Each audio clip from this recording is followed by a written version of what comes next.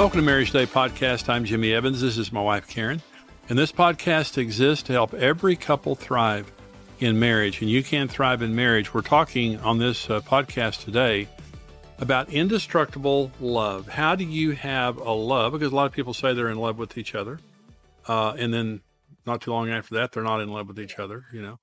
Uh, but how can you have a love that endures? And that's what this program is about. And I'm, we're going to go to a teaching here in just a minute where I'm teaching on this subject.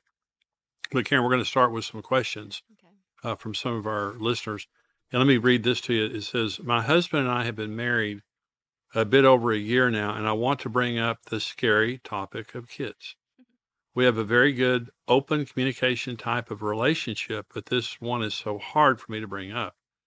I think I'm worried he's not ready because life isn't perfect. Any suggestions on how to breach this topic in a casual way without it being such a major moment? Oh, it's so funny because she says they have open communication, but she can't talk about it. Yeah. It, might be a problem, but no, seriously, I I can understand though anything that's difficult. You know, we feel, but you know, this is one of the reasons I think pre-married counseling is so important. You know, for people out there that are still thinking about getting married, you need to figure out these things before you even, you know, come to the altar and have those discussions of how many children, you know, where are we going to live? What's our religion? All the different stuff. And so, but with this, it's just children. I mean, the, the, the Lord says they're a blessing. And so, you know, look at it from the perspective of, you know, I'm going to trust God that, you know, He wants me to have children. If He wants me to have children, then when it's time for us to have children, my husband and I can come in agreement with that. And so just bring it up casually. Just say, you know, hey, have you been thinking about have kids? You know how we did it. We'd been married. Se- no, not did it. we. this is not that type of podcast. Okay, so you know how we we were married seven months. We were laying in bed. I'll never forget in our cockroach infested apartment, and I was laying there. I was like, wouldn't that be so cool to have kids? And you're like, sure. Pregnant just like that. That was how we planned. So, but I think it's really, really smart to sit down and talk about it and just. Absolutely. Mm-hmm. I, I, did pre-marriage counseling with a couple and, um, and I asked him how many kids you want. He wanted six. She wanted 2 mm-hmm. And he was, and he said, no, we're having six. And she said, not by me or not. Well, that they had that fight in the office. I, I really can't remember what happened to them. I don't think they got married. But the, the time to have that conversation is before you get married. Absolutely. But yeah, you know, she needs to bring it up, and it, it's of it's of concern because kids are so important. Having a family is so important, mm-hmm. and it kind of sounds like he doesn't want that. Well, she's not sure. She didn't even talk to him about it. Well, there you go.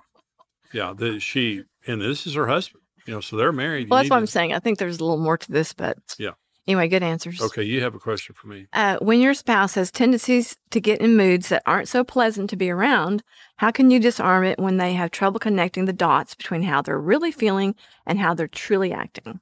Oh gosh, that's going to be tough for you. sure. Well, well, just explain. Let me explain. He's not a feeler, so uh, it's real hard for him to get in touch with emotions. well, here's what I would say because I live with a feeler and that and I'm not saying you're moody. I'm just saying. Hey. No, but but what I'm saying is, you just live through it. You know, let let people have their moods. Now, you know, I mean, if it's a, a you know violent mood or horrible mood or something, it's one thing.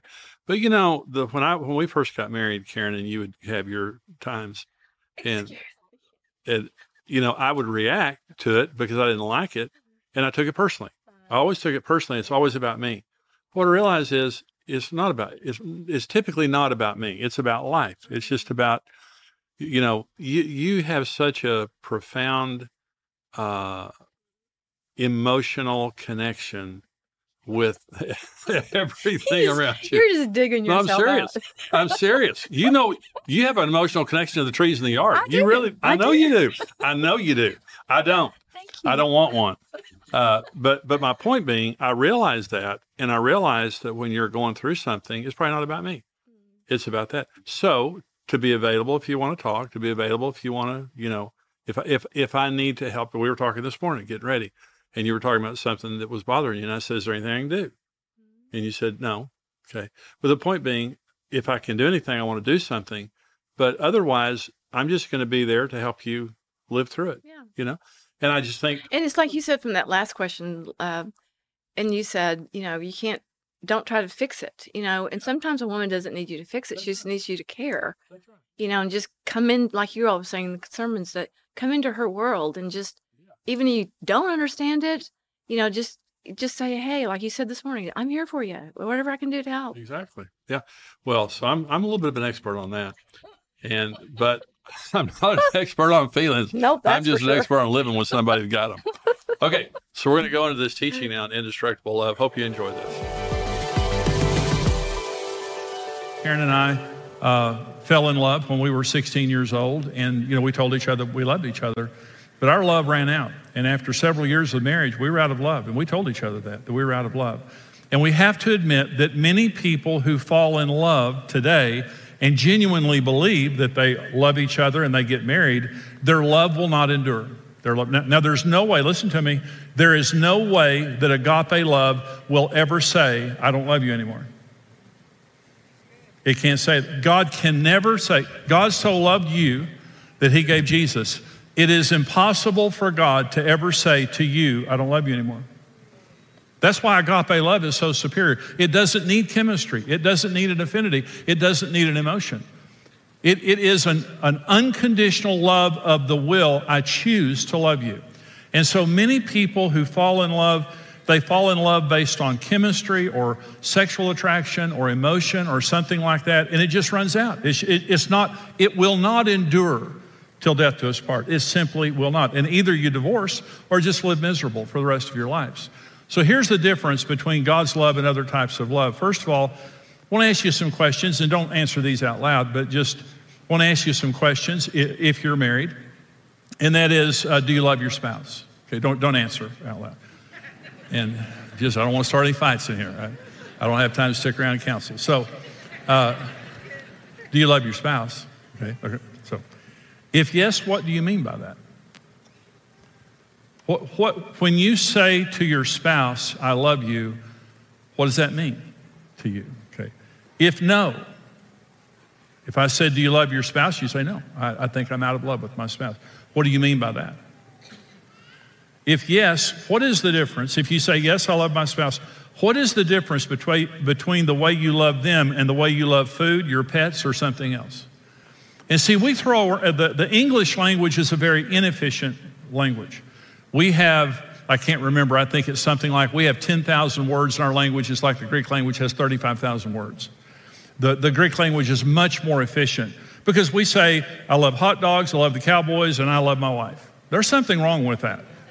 Now, the Cowboys and Karen, never mind. Okay, so uh, don't tell her I said that. Okay. But we need a better, we need a better language. We need a better understanding of the word. We love everything. We just let, the word love just means absolutely nothing in our culture. You have to admit it. And so here are the five kinds of love in the Greek language. And so if you're speaking Greek and you want to say that you love something, you can be very exacting about what you mean by it. There's a word in the Greek language, it's epithumia. Okay, this is where we get our word thermos. It means passion. And so if I'm saying I love the Cowboys or I love to hunt or I love to golf or I love this or that, I'm talking about, I'm very passionate about that. That's epithumia. That's great. Okay. But that's the word specifically. Eros. We all know what that means. It's erotic. That's where we get our word erotic, is sexual love.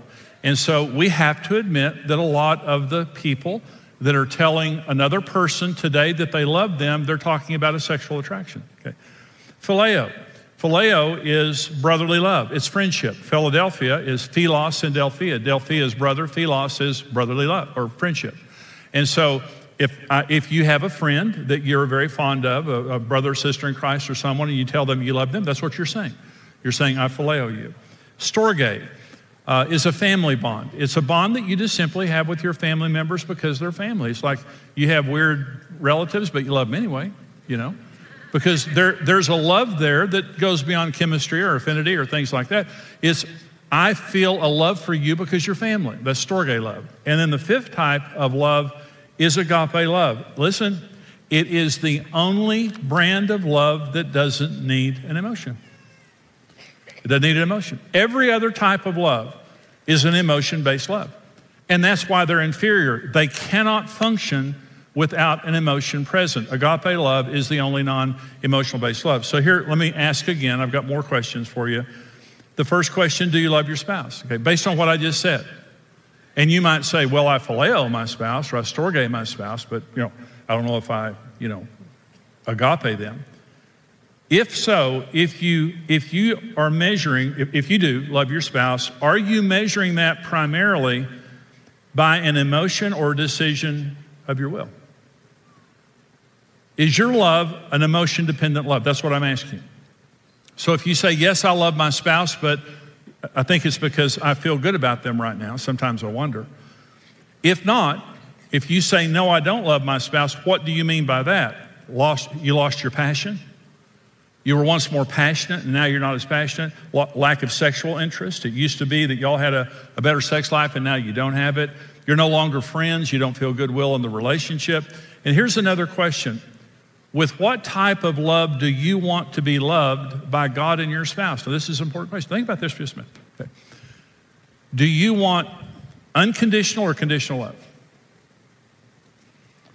From, let's just talk about God for just a minute. Do you want God to love you because you're having a good day and He's pleased? Or do you want God to love you in spite of the fact that you're having a bad day? Everybody? Everybody? Sim- that kind of a simple one? Okay. Of course, you, I want unconditional love. I, I don't want a point system. I don't want to have to be performing constantly for God to love me. However, in marriage, many times that's exactly what happens is our love is an emotion based love based on how our spouse is performing for us at that moment or during that period of time. Okay, so I want to be loved with a, a trans circumstantial, unconditional love. That's the way I want to be loved. Okay, and so here's another question What type of love do you believe is the best foundation for your marriage?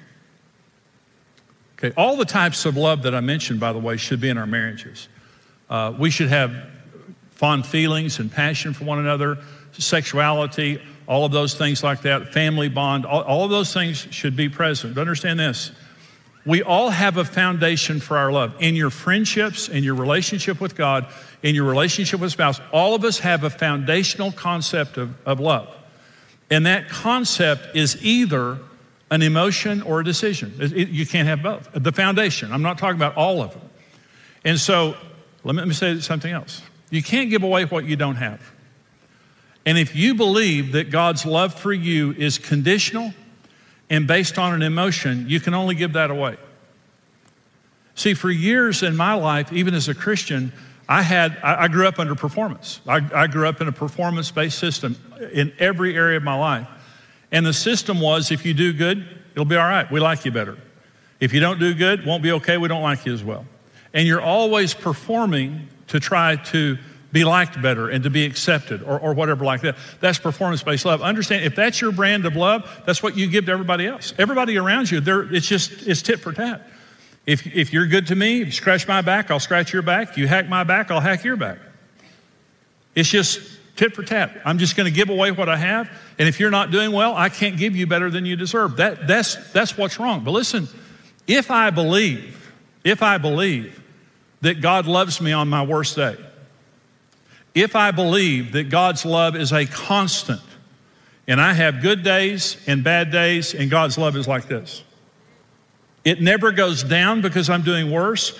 It never goes up because I'm doing better. It can't go any higher. He loves me with an everlasting love. Somebody say amen. So that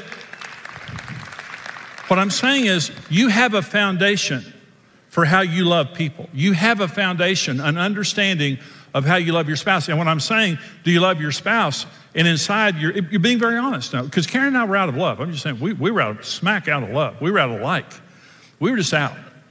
And so I've been there and I understand. Our brand of love, when we told each other that we loved each other and that we wanted to get married, we had an inferior brand of love that could not endure marriage. And we found ourselves smack out of love because the foundation of our love was an emotion. Okay, here's the difference between agape love that it makes as the foundation of our marriage. Number one, agape love is consistent and keeps the trust and goodwill of the relationship strong. It's consistent. See, I don't know what my emotions are going to do tomorrow. I, I just don't know. If I wake up tomorrow in a, in a funk, should I be mean to Karen? Shouldn't I shouldn't. And all the women said, no. all women said that. No.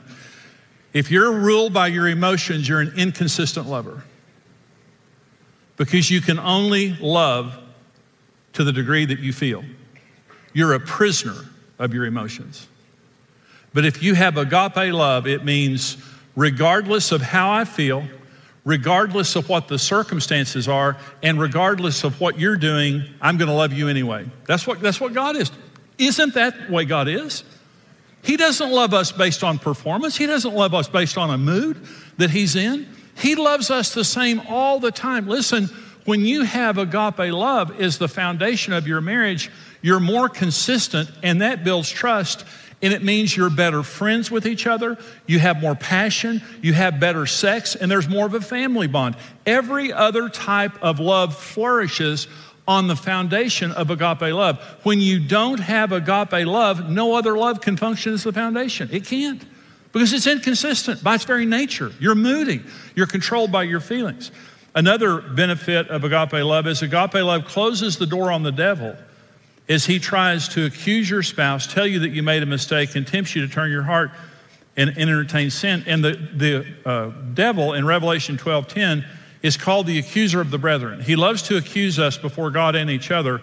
Ephesians 4:27 calls him the slanderer. If we go to bed angry, it says we give a foothold to the slanderer, and he can't wait. He, this is what he did with Karen and me. We fought and fought and fought. I went to bed on anger many times, and the devil came to me and told me that I had made a mistake and offended me toward Karen. And I, I thought it was me, but it, was, it wasn't me, it was him. He comes stealthily. He says things like, They don't care about me, they only care about themselves. You're offended at your spouse.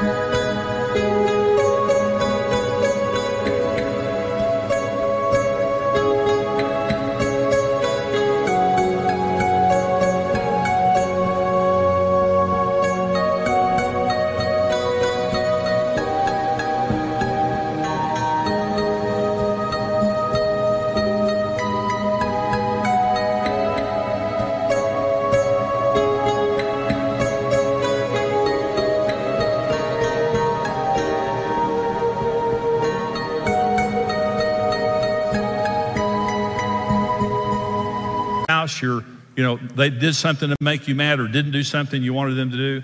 I'm going to live my life without true love if I stay married to them. These are the kind of thoughts the devil puts in your head. I made a mistake in marrying them. I'm not going to give to them until they change and say they are wrong. They are the problem, and until they change, our marriage will be bad. Blank is the right person for me. And when Karen and I were in the dark days of our marriage, I knew I had made a mistake, and I thought, I, I knew the girl that I should have married, I thought, which was wrong. I wouldn't be in this situation if I were married to, to so-and-so. They are so weird, something is wrong with them. These are the kind of thoughts that the devil implants in your head. So um, 1 Corinthians 13 says, love bears all things, believes all things, hopes all things, endures all things. You know the word for love there? Agape. Agape love will not receive an accusation. Agape love will not receive an offense. Agape love believes all things and hopes all things and bears all things. And so when the devil comes to you and he begins to accuse your spouse, he hates your marriage. He hates your marriage because it's the best thing for your life. It's the best thing for your children. God made it. There are a million reasons he hates your marriage, but he works overtime to try to split you up. And he does it through accusations and slander. And agape love is the only love that has a shield strong enough to deflect that. I will not listen to you talk bad about my spouse, devil. And yeah, we're going through a bad time right now, but that's okay. I know we're going to come out of it, and I know that they're the right person for me. I believe all things and I hope all things, and that gives me the ability to endure all things. That's why agape love is so much better. Here's another reason that agape love is right for the foundation of our marriage. Agape love gives us the ability to give to our spouse when our needs are not being met and positive emotions are not present. It says that for God so loved the world that he gave his only begotten son. Let me ask you a question. Was the world doing right by God when God gave his son? No. The world that God gave his son to crucified his son. When we were in our sins, Jesus died for us. So, in other words, agape love gave to us when we didn't deserve it. Is that right? Without agape love present in a relationship, there's always a point system present, like I was talking about earlier. It's tit for tat. But there are going to be times in your relationship when your spouse doesn't give to you. It, they're just going to be times. That's, that's why when we get married, we say for better, for worse, for rich, for poor, sickness and health.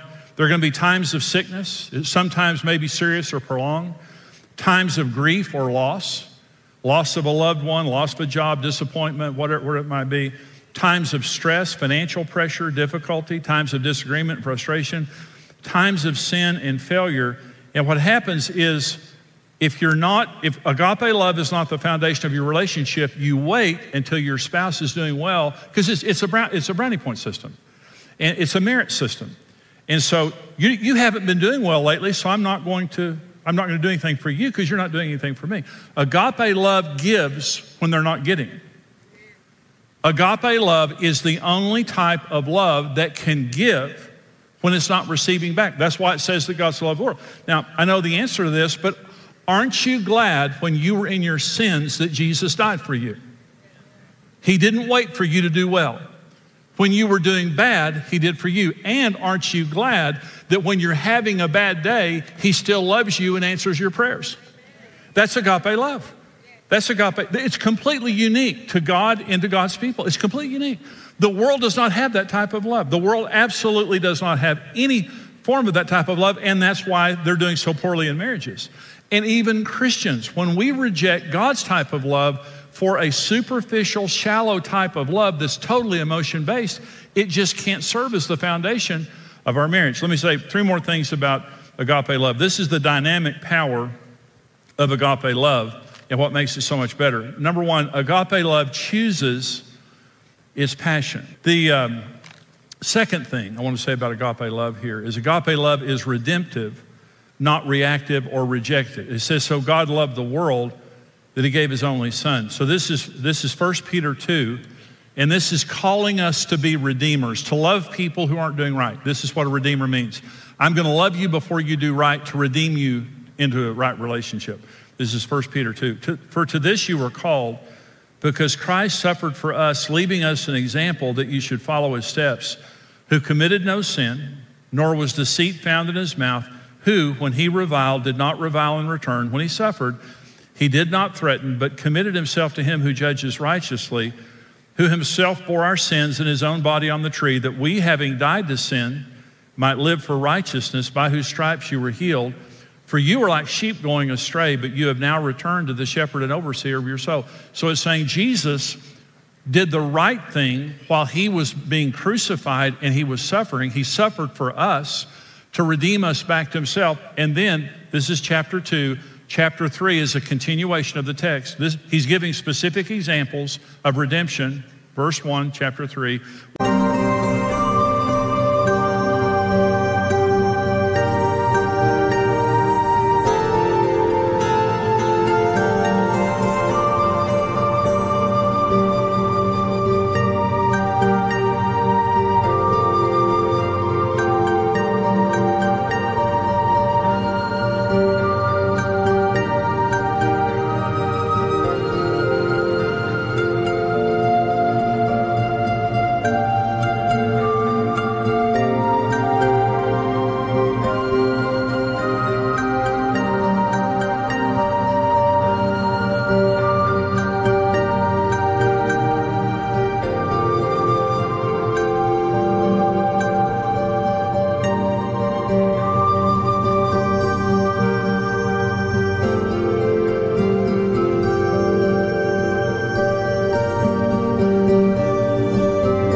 Wives, likewise, be submissive to your own husbands, that even if some do not obey the word, they without a word may be won by the conduct of their wives, when they observe your chaste conduct accompanied by fear. Do not let your ornament be merely outward, arranging the hair, wearing gold or putting on fine apparel. Rather, let it be in the hidden person of the heart with the incorruptible beauty of a gentle and quiet spirit, which is very precious in the sight of God.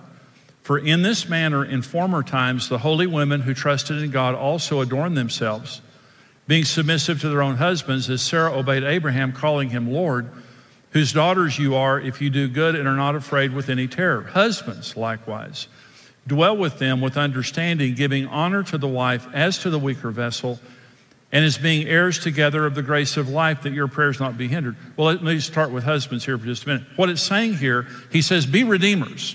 Wives, husbands, both of you, redeem each other. And when I was in my sins, he died for me on the cross.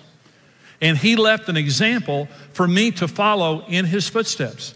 And the first example that Peter gives is husbands and wives. And he says to wives here, he says, if your husband is not obeying the word, they, without a word, will be one as they, uh, by the conduct of their wives, when they observe your chaste conduct accompanied by respect. Okay, so let me say this. So, how do you change your husband when he's doing poorly? Well, women are motivated by security, men are motivated by respect. Respect is so powerful, we will change our behavior for the person giving it to us. Without a word, here's the promise from, from uh, Peter if your husband is not doing what he ought to be doing, you can change him as he sees your pure respect. You're not sinning, not being unrighteous, and you're respecting. Respect is the number one need of a man, and it's what motivates us. We'll never be changed through criticism. We'll never be changed by being put down or anything like that or being treated poorly. The thing that changes us is when you treat us the way, the way we don't deserve. And so only agape love can act above its feelings because it's not based on a feeling, it can act above its feelings. And when Jesus said, when it says that God so loved the world that he gave his only begotten Son, only agape can do that. Emotion can't do that. Our emotions are naturally reactive. And when someone treats us bad, we want to respond in kind, and that's what destroys marriages. But what creates the greatest indestructible marriage is I'm not going to respond to you in kind. And if you're not meeting my needs, I'm going to meet yours. And if you're going through a hard time, I'm going to love you the same anyway. Doesn't mean I won't confront you. Doesn't mean we're not going to talk about it. But I'm not going to withdraw. I'm not going to punish you. And that's the spirit of a great marriage. One other thing agape love is a universal standard that keeps our hearts pure and whole. And it says that uh, God so loved the world that he gave his only begotten Son, that whoever believes in him would not perish but have everlasting life. Whoever believes in him. You know, the thing I'm so thankful with with God is uh, he's not prejudiced. He loves black people. He loves white people. He loves Hispanic people. He loves Asian people. God loves everybody because we all came from Adam and Eve.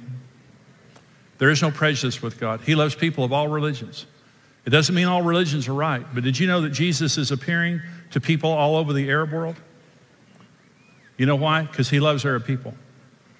God loves every, there is no prejudice, and here's what that means. With agape love, I'm not going to treat you different because you're a man or a woman. I'm not going to put you down because you're a woman. I'm not going to put you down. A lot of us grew up around chauvinism, and some of you ladies grew, around, grew up around man haters. And that's not agape love. Agape love means I respect you for who you are and I will not be prejudiced towards you. And what I'm saying to you is God created marriage upon the foundation of agape love. Only if you're saying to me that you love based on emotion, I'm saying to you, I feel sorry for you. Life's going to be tough. Marriage is going to be really hard on you. Been there, been there. But if you're saying to me, I choose agape love, I want all the other good emotions in my marriage. But I choose my spouse permanently, once and for all. And the foundation of the love of our marriage is going to be agape. What I'm saying is, your marriage won't be perfect and there'll be some difficult times, but you're going to have a wonderful marriage for the rest of your life because you've chosen the only form of indestructible love.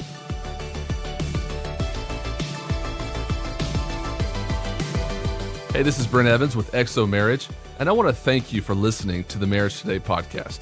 We believe your marriage has a 100% chance of success if you do it God's way. If you enjoyed today's teaching and want to keep learning, hey, subscribe to the Marriage Today podcast and take some time to leave us a review. Your reviews help us spread the word and can encourage someone else in need. For more great marriage content, check out xomarriage.com where you can see all of our marriage building resources, articles, and live events.